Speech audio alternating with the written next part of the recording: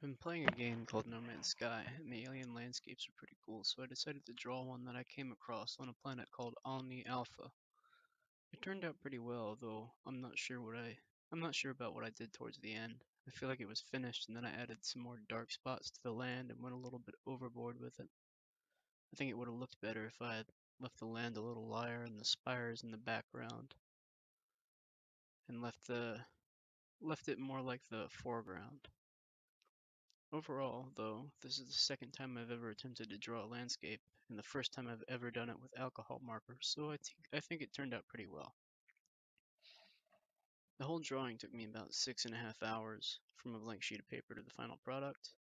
The full video is about an hour short of that though, because I didn't include the pencil sketching portion of the drawing in the video, which took about an hour.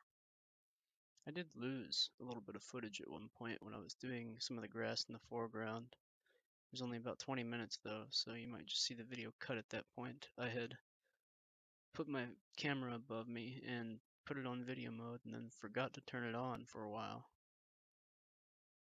The drawing was done in five sessions, which were each about an hour long, with the exception of one being about two hours long. The original piece will be available on my Etsy, and some of the designs and prints of it will be available on Redbubble. Both will be linked in the description of the video. Thank you.